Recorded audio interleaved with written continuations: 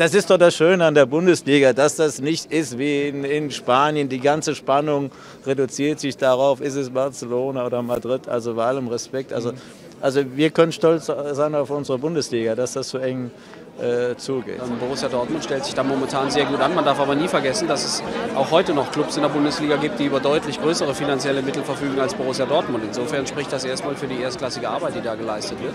Aber ich denke, ein paar andere kommen da durchaus auch noch in Frage. Also ich denke, erstmal muss man äh, sich großartig freuen, dass in der Bundesliga immer mehrere Teams deutscher Meister werden können. Das ist das, was die Bundesliga auszeichnet seit vielen, vielen Jahren. Eben nicht wie in Spanien, nicht wie in England, wo nur zwei oder drei Teams die Meisterschaft unter sich ausmachen. Wir haben in der Regel immer vier, fünf, die es werden können.